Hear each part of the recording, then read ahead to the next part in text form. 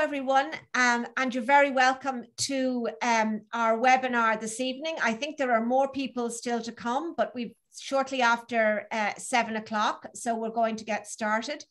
My name is Ailish Hennessy, and together with uh, my colleagues Zara Farahani and Liliana Mbeve, we are um, the team working on a, a, research project looking at children's engagement in creative activities. We've organized several events as part of um, this research project. This evening's event is one of them, and we're absolutely delighted this evening to welcome Erika Csibi from uh, Laoghaire Rathdown Libraries, um, who is going to talk to us about libraries as creative community spaces that are welcoming uh, to families um, and, and children. And we hope that you will uh, get something um, out of this and that you will be encouraged in this post-COVID world to go and uh, visit uh, your local library and to engage in some of the creative activities uh, there. So um, Erika, thank you very much indeed. I'll hand over to you. Thank you, Ailish, and thank you, Ailish, Sarah, and Liliana, for the opportunity to be here this evening. Um, and welcome to everyone who is here. I'm looking forward to showing you the many opportunities and services that your local library has on offer and can provide, and especially what is available for children, from art and reading workshops to story time, Lego classes and science workshops, to music shows and classes. There really is a huge amount on offer at your local library, mostly for free, in fact, almost all for free.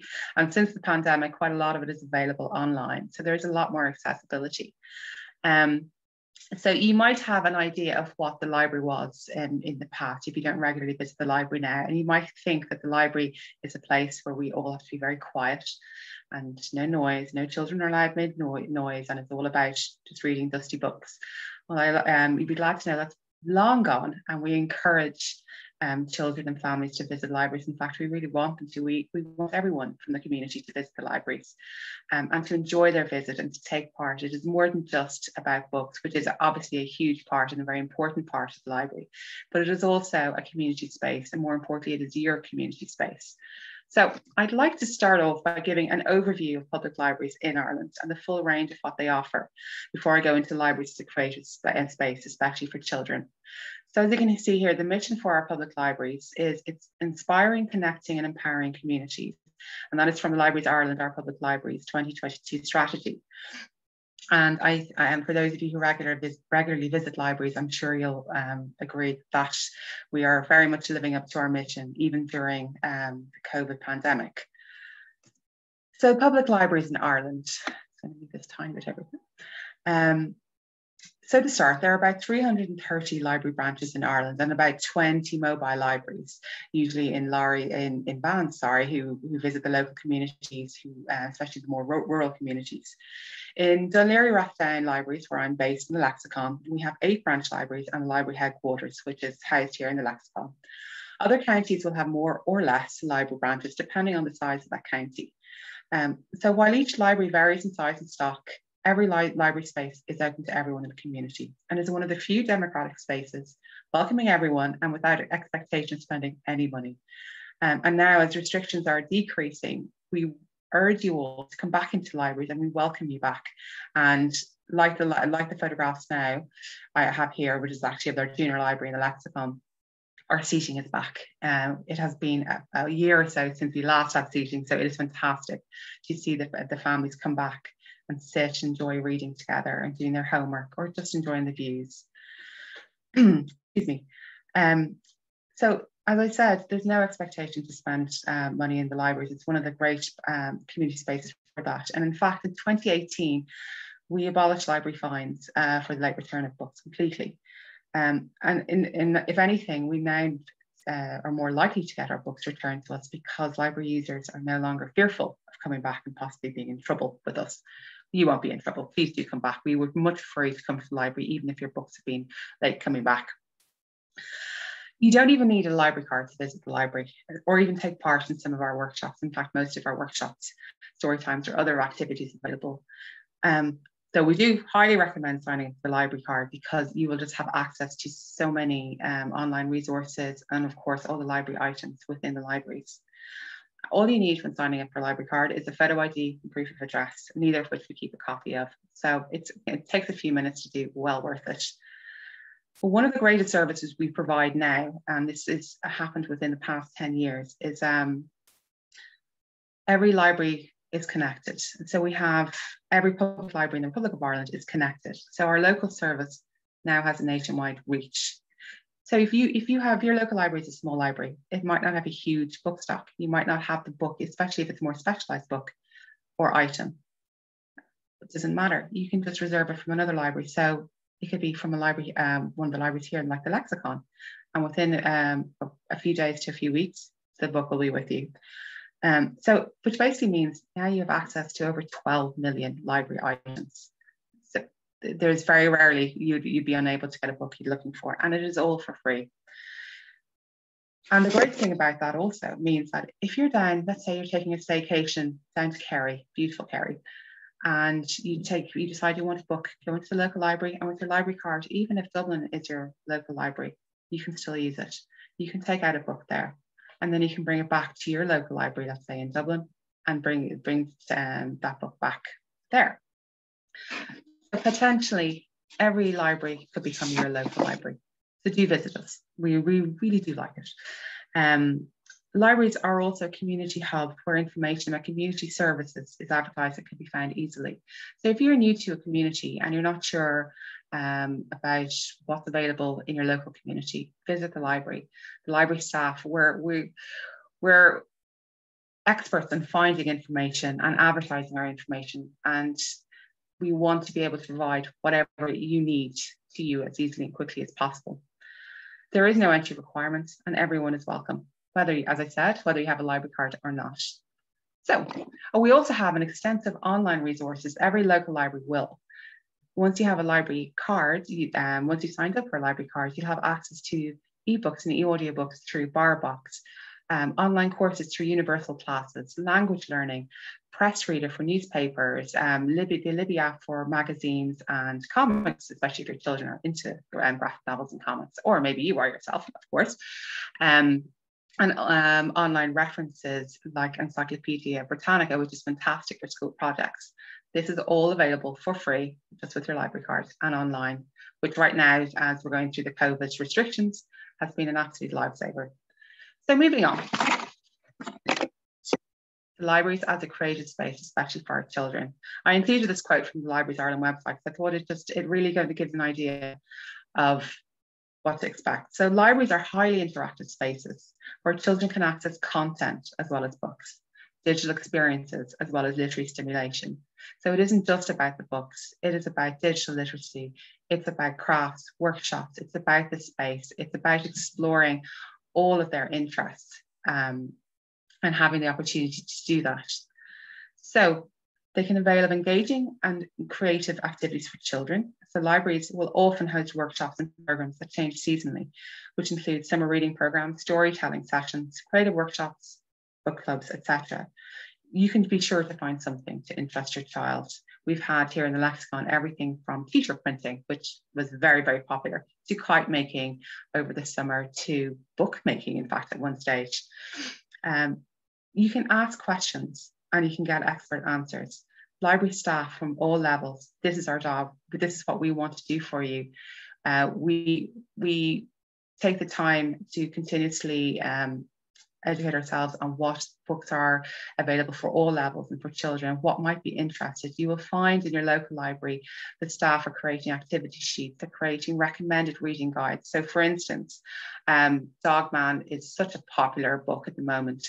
And one of my library staff, um, staff members, um, one of my library staff created a you finish the dog man or you can't find the dog man, what to read next. And it's just different ideas. And we did that for a number of different genres. And you'll find there's lots of resources available in local libraries and online to help with this. Um, so you might already have access to online information, but your local librarian is there to impart their wisdom. And parents do take um, advantage of our experience in the world of books and dealing with children's reading needs. I'll also later on be, um, be pointing to children's books, um, children's book Ireland, Books Ireland, who are on another fantastic resources for um, ensuring the love of reading within your child. Um, using the library as the perfect place to get to know new people and get involved with the literary life of the town of and city. So it is a community and social space for meeting other um, other people, but especially other parents, especially when you're a new parent, um, which can be quite isolating.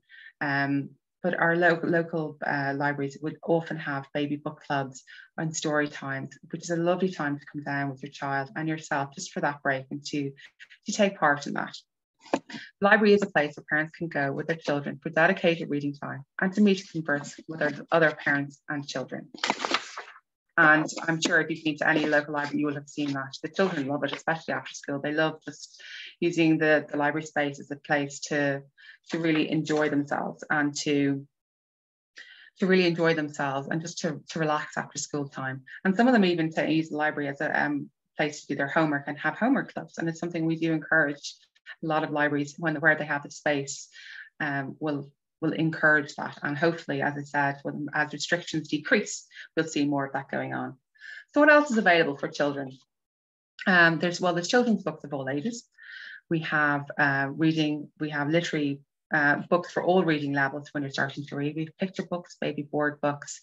Um, we have a huge collection of non-fiction books for all subject matters um, and continuously being updated as well. We have classics, we have graphic novels. Every library has access to this. And as I said, if you can't find a specific book you'd like in your li local library, you will have your, your the library staff will be able to reserve it from another library for you.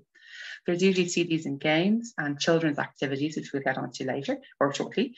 Um, and there's also computers and internet access for children with um, parental supervision that is available. So if, if um, it's not available at home for whatever reason, um, you'll be able to do so in the library. And some libraries are also introducing hub, um, iPads to be used in libraries as well for um, that are safe to use for children and also for adults, depending on which um, what the parent selects for it.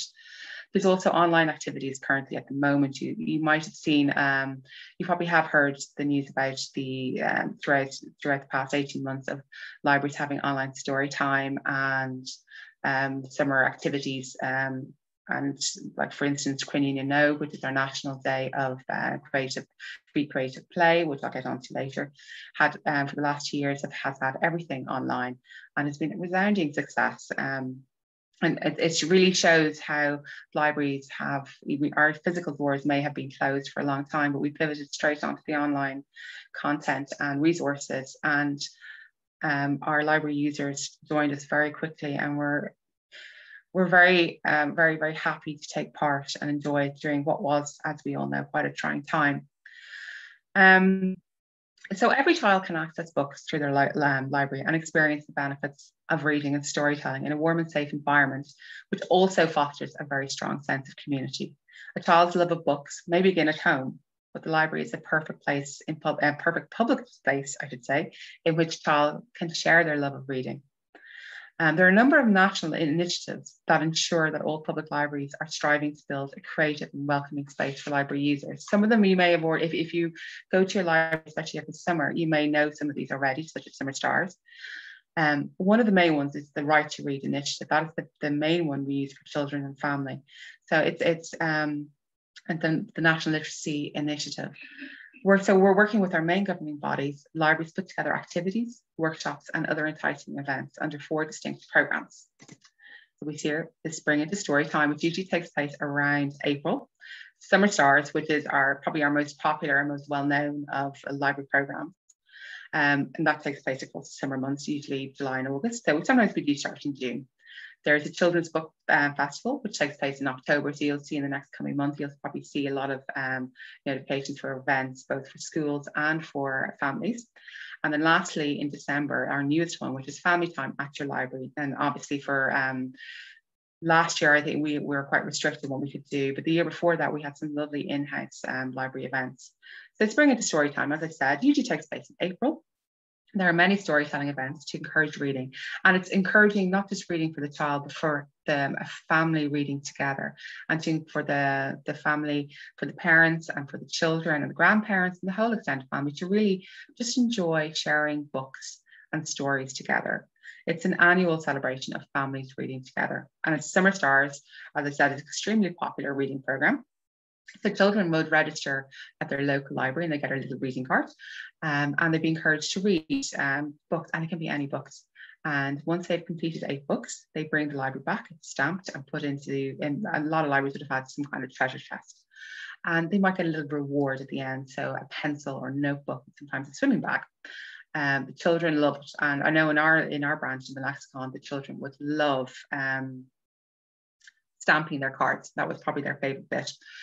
Um, uh, as well as putting it in the treasure chest. We did have a treasure, treasure chest for that. At the end of the Summer Stars program, then we usually have a number of events as well as spot prizes um, and other prizes. So um, obviously for this past, these past two summers, we haven't been able to have online, um, in-person events, excuse me. We have had online events uh, with author talks and um, many different author talks of different variety and very well attended. Um, but in, in summer 2019, we did have um, in, in our library, our final one was a monster doodle. So we had a number of children, they were in, they were creating a big artwork um, on a big huge sheet of paper and it was just their own doodles and having fun. Um, I think it was one of the few times we were allowed to have music on the library. Um, and luckily the other libraries were absolutely fine and enjoying and enjoyed the children enjoying themselves. Um, so the next Children's Book Festival, as I said, we have that coming up this month. Um, and the Library Service have been, we've been organising this festival for many years and in many authorities it is a central focus of their annual programming calendar. So events and speakers are hosted online and in libraries across the country in October with something scheduled for readers of all ages and interests. Um, so we've had author visits, craft days, story time sessions, book clubs, movie days, and STEM days, all kind of around different books. Obviously, this year and last year, it's going to be online. Um, for families, um, in for, for instance, for families this year in, in Laoghaire West we have exclusive videos from Alan Nolan, a very popular illustrator and author of our um, library users, Oisin McGann, Paddy Donnelly, Shane Hegarty, and Sheena Dempsey, and they'll be available on our YouTube channel. So even if DLR um, Libraries isn't your local library, you're more than welcome to visit our YouTube channel and see the videos when they come out. Um, so, and if you keep an eye on your library's website, you'll find out what's happening throughout the month for this. Um, there's also a number of school events, again, with local authors and illustrators. Um, the school events are really, really popular. Um, and the last uh, one, the Family Time your Library, that is usually taking place in December. As I said, it's one of our newest uh, part of that initiative. And this, it, it's similar to the Spring in, um, into Story Time in that it is encouraging families to read together, but it's also encouraging families to come and visit the library together. So there will be activities to attract um, parents um, to the library with their children, such as family craft workshops and story times, but specifically for parents and children. Um, these family events and activities take place in libraries during the month of December. Um, but this year, obviously, um, uh, there might be some restrictions to what can happen. Certainly, hope, we're hoping in 2022 it can go back to its usual programming. Um, as I said, is to support the involvement of the whole family in children's reading. So going on, as I mentioned, schools events. So schools um, play a really important uh, part, um, part of libraries. It's a really important link for children and families. There's many, most libraries will have um, some form of school events and workshops. Um, so for instance, uh, again, with the Laoghaire Rathdown libraries over the summer, before summer start started, we had about five local um, primary schools who took part in three workshops um, with an author, Lucinda Jacob, um, author and poet, and uh, uh, an illustrator, uh, under the guidance of Sarah Webb. And they created uh, poetry of different types of poetry and artwork relating to the Laoghaire Rathdown, especially the sea. And um, in fact, you'll see a picture at the end of the, the slides of some of the wonderful um, jellyfish they made from recycled plastic bottles. There was a fantastic initiative for the children, and they got to have their work displayed in the library over the summer. So it was really exciting for them to come visit and see um, it's just an exhibition of their work. Um, schools can also do have, we can also have school tours and we're starting to be able to hopefully, hopefully allow some small classes back in and class visits. Um, and this can be for secondary school um, students as well. They can come and um, tour and see what's facilities are available to students. So there might be the children's computer area where they might be able to do their homework, study spaces, and also the reference section is really important for school projects. And also the local history, a lot of libraries would have some form of local history uh, folders available to, or, or reference material. And some of the, um, the larger library branches might also have local um, local history section. So in the lexicon, we have on our fifth floor, we have an entire local history section, generally open for, um, it's generally used by adults, but we do have secondary school students who do it, especially for history, CBAs, junior cert level. Um, uh, also for teachers, they can have, have a library card and that means they will be able to take out more books than usual. A block library card for longer. They can take out books for their class to read together in classroom sets. And it, again, it's just encouraging reading for and, and access to books for all our students and all our children. Um, and we go on from that. One of the other partnerships um, we really like at the moment, and it's been fantastic in the past year since um, since its inception, is Music Generation and Libraries Partnership. So Music Generation, uh, it's a national partnership program whose mission is to create inspiring experiences for children and young people through music. Uh, they have been, it's been rolling out for the past few years throughout Ireland.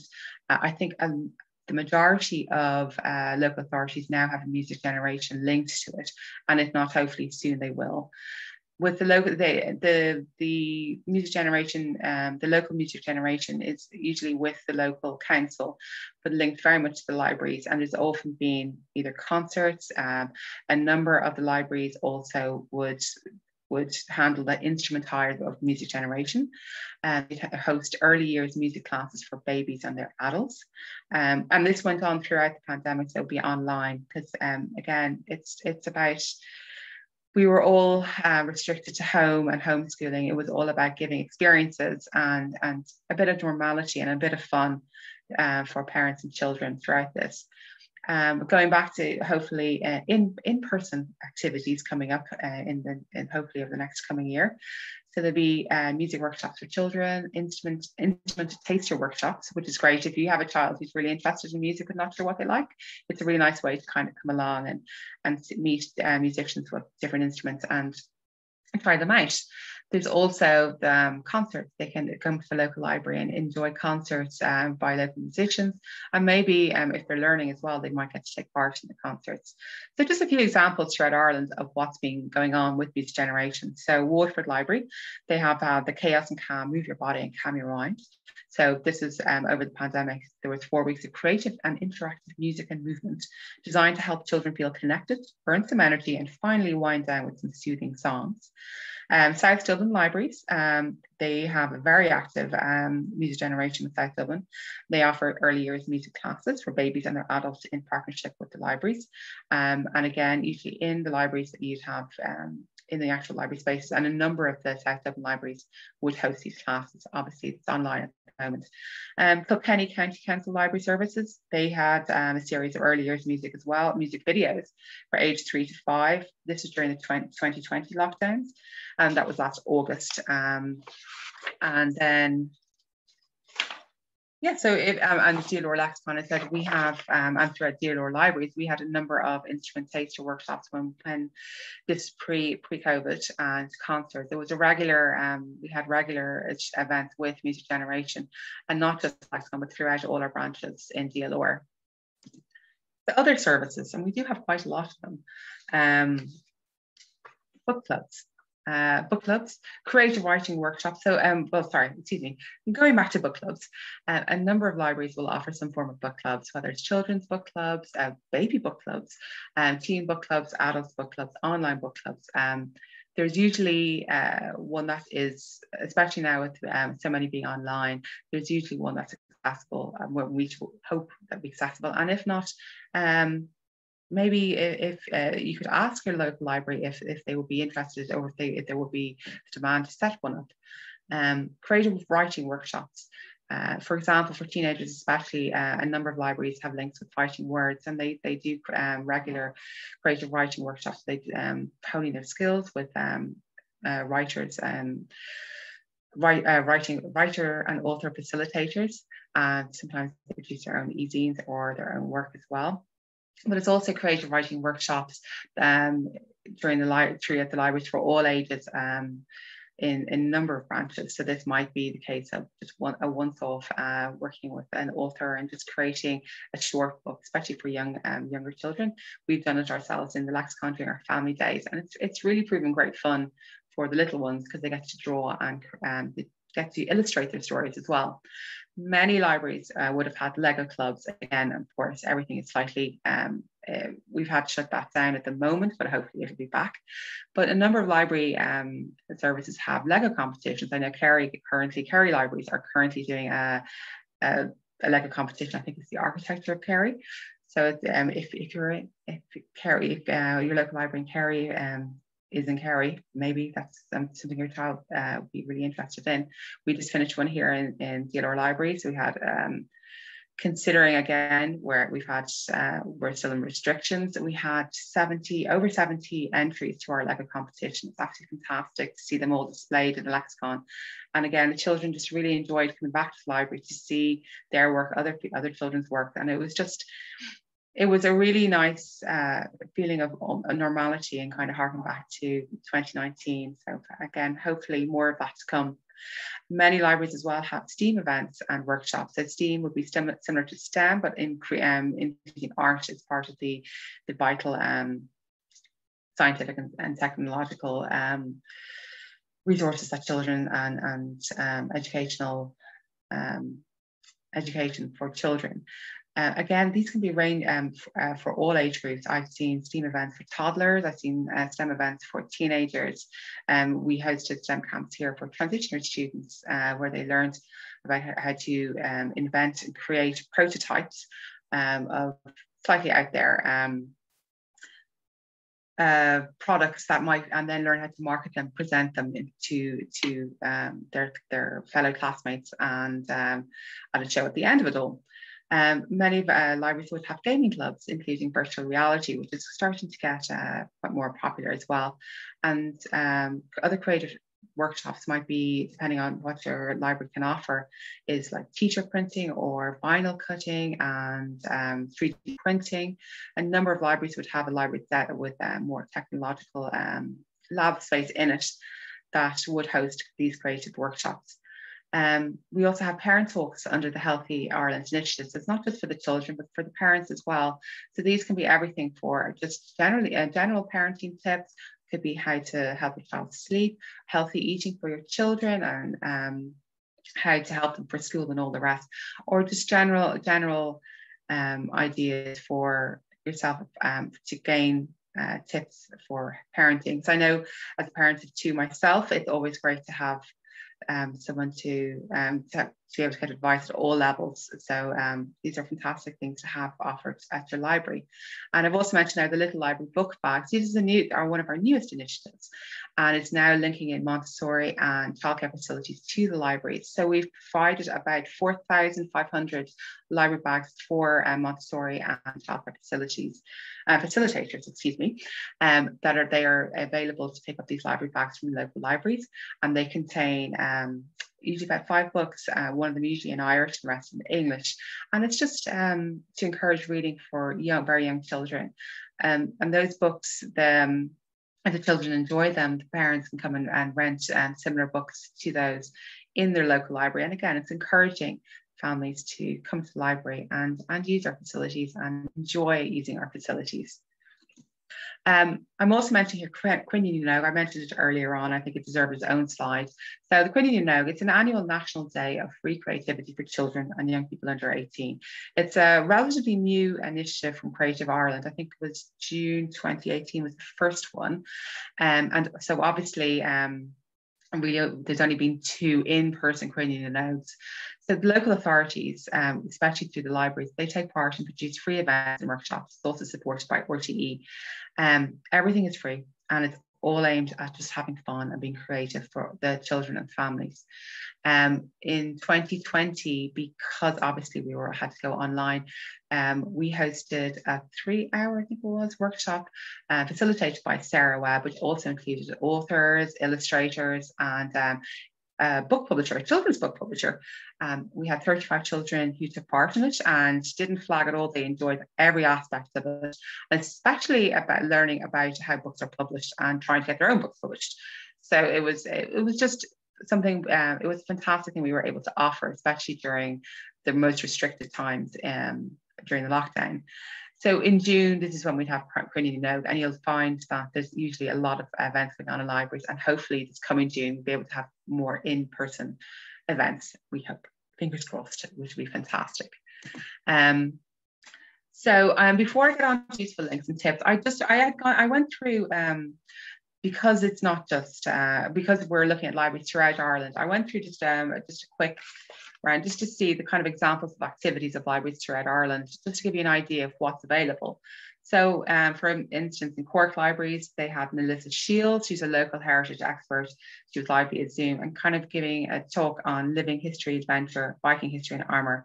So it's living history for kids. In Kerry, as I said, they had a Lego building competition.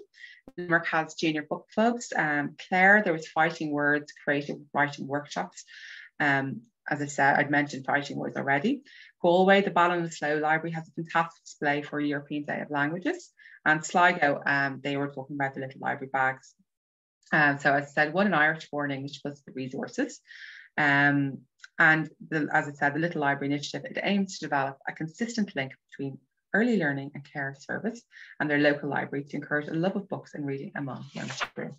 And in Mayo, the things I love. So it's miniature bookmaking and illustration project with primary school children from Mayo and New South Wales in Australia with visual artist Cass McCarthy. So it just shows that there is so much on offer for our children and families around. And I don't know about you, the, the idea of doing miniature bookmaking is actually I'd, I'd kind of wondering, could I pretend to be a primary school child in Mayo to be able to take part in that? Um, and as I said, in DLR libraries, we've had children's book illustrators. Um, currently, at the moment, in our junior, uh, the junior LexIcon library, we have a children's book illustrators exhibition, um, as well as just to make to create a kind of to. Um, as I said, until this week we had no seating available, so it was just to brighten up our junior library. We have our seating back, so we welcome back everyone to sit, enjoy, relax. Um, we also have just finishing up a uh, series of Roald Dahl Science Clubs via, um, via Zoom. Uh, there were three weeks and the children that got to pick up a kits and each week they got to make um, have do science experiments based around Roald Dahl. So I think one of them was the twits and another was BFG's kind of the fizzle pops. Um, but they're great fun. And I took part in another science workshop one time with I think with the Harry Potter ones, and you got to make great fun. Um, even as an adult, though I did end up with um, turmeric stained hands for a while afterwards. Um, so we also have had the Decade of Centenaries, um, one of our national initiatives through Creative Ireland. Um, and in Black, so that, so that would be um, celebrating the national but also local um, centenary celebration. So in 2016, it was 1916 Rising. And um, for us in 2018, I think it was, it was Sync. Um, we had um, well, actually, this year is the what's in its name, the change from Dun Laoghaire from Kingstown to Dun Laoghaire. So we have um, a decade of uh, celebration on that. We also had our local oratory, um, beautiful um, Celtic work, and local um, children from the local primary school worked with one of the art um, artists, one of our artists, Max Harnett, to create a new mural based on that. So there is always something for children. So um, going forward, uh, useful links and tips. As I mentioned, Libraries Ireland is a fantastic central resource for parents. So um, if you go to librariesireland.ie, it has links to every library service, including their website and social media. Um, and you'll also be able to read up more about the, the national initiatives as well. Uh, Children's Books Ireland, as I mentioned before, Children's Books Ireland.ie, I think it's the website for that. It is fantastic. They champion the love of reading for children. So they have the reading guides um, at the moment. Um, excuse me, the latest one is just um, being published, the Free to Be Me. It's um, so it's it's just it's recommending a diverse range of um, literature for children uh, and it's available in local libraries. But if you go to their website, children'sbooksireland.ie website, you'll be able to see a huge amount of resources for recommended readings for all types. It's definitely worth trying out um, or having a look at it. I'd also suggest sign up for your library's mailing list and check their website and social media regularly.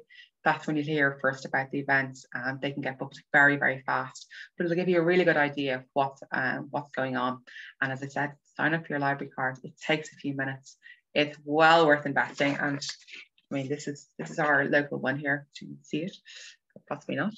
Um, and with this, as I said, you have access to 12 million items. You have access to even more um, uh, resources online. It's phenomenal. It's all for free. Um, and, and once you sign as parents, once you sign it up, you'll be able to sign up for your, your children as well. You can be guarantor. It takes a couple of minutes to do. It's well worth it. Um, and just lastly, just a few photographs here from the specifically from West End, some our creative um, events throughout the over the years. So this um this main one here, I'm not sure if you can see it. It's the welcome. It's the school children. That was the mural they worked on um to do uh, with the in the oratory and with Max Harnett. Um, the the children here creating pottery. I think that was during one of our family days in possibly June or October 2019. Um, and we can see music workshops here as well for families.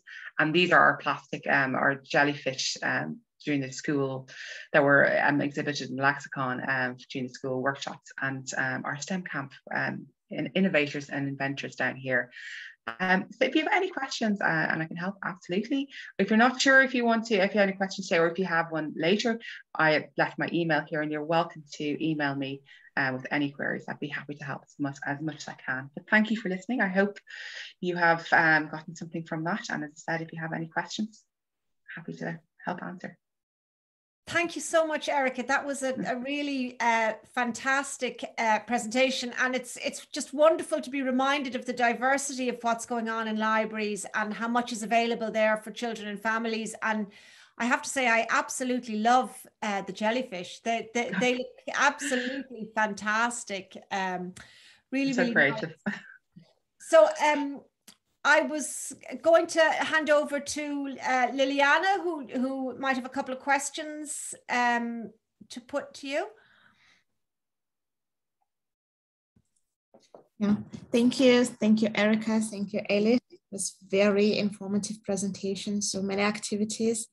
Um, before we go to the question and answer section, um, I would like uh, just to tell our attendees that we are also running a survey uh, as a part of the projects that we are doing. So we would really, really uh, like if you consider taking part in it. So it's, it's a short survey about the creative activities that the children involved in, and we offer it in three different languages. So it's in English, Arabic, and Urdu. And if you have a Muslim background, we would really, really be grateful if you consider taking part. So I'll just post a link in the chat. And in the meantime, please do not hesitate to um, offer to ask questions that you have. Um, you can either post them in chat or maybe in the Q&A question. And while well, you're thinking a little bit, um, I just have my own question to Erika, if I may. Of course. Uh, yeah, I was just wondering, uh, are there any books in, in, in different languages maybe so that children could, you know, sometimes they want to yeah different Oh, that's a very good question. Apologies for not bringing that. But yes, we do. Most library branches would have um, some uh, books in other languages. In the LexIcon here, we have quite an extensive. We're very lucky because of our size, but we have quite an extensive um, range of um, books for children in different languages. And we just, I think, about a year and a half ago, um, we got a number of books in uh, both French, Polish, Italian.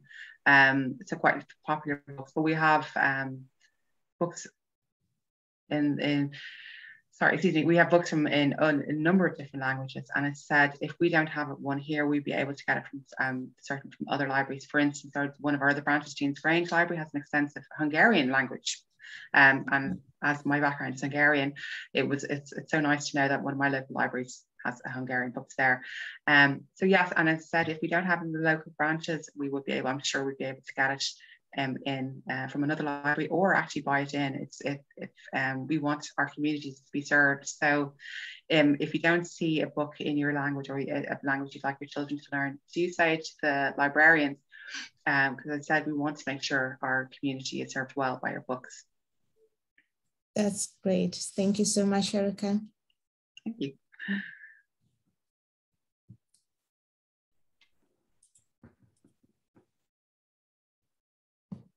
So if you have any questions, please just post them in the chat section or in the Q&A And in the meantime, you also can see the links to the survey.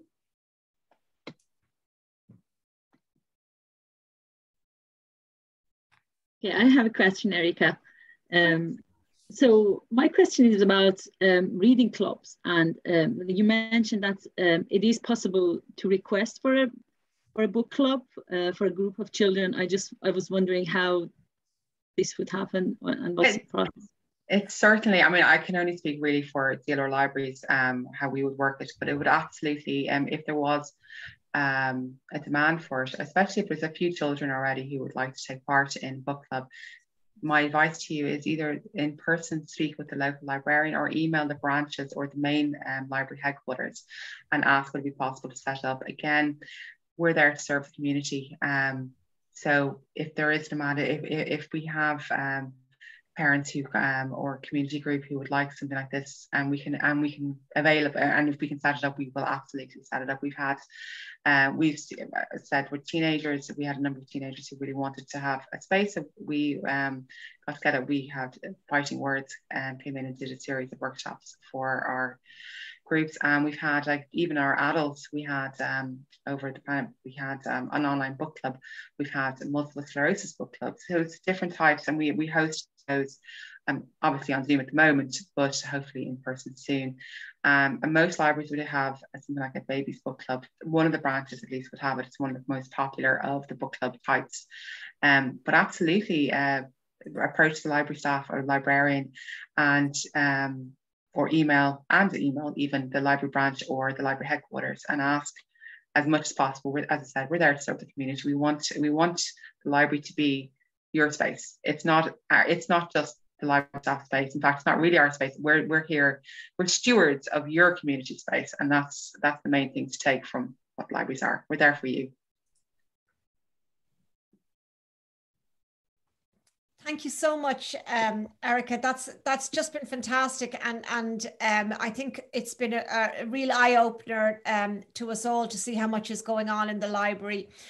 Um, so uh, with that, I'm just going to, what I'm going to do is I'm going to just stop your screen sharing because I want okay. to uh, put up um, a slide of our present, of, we, we've got, we're very lucky that we have another um, talk next Tuesday evening um, that I would like to tell the, the people who are here now about. It's um, a lady by the name of Jenny Siung from Chester Beatty, Dublin, and she's going she's going to um, give a talk entitled "Every Museum Tells a Story," and she's going to talk about uh, children's activities in the Chester Beatty in in Dublin, and where there's and that has a huge collection of Islamic, Asian, North African East Asian and European uh, books and artifacts, and it's a it's actually a gorgeous little library um, and museum if uh, people haven't been there. So just to let people know about that. Um, so uh, with that, we'll uh, say goodbye to our audience. Thank everybody for being here, and particular thanks uh, to Erika for such a fantastic uh, presentation. Thank you. Good night, everyone.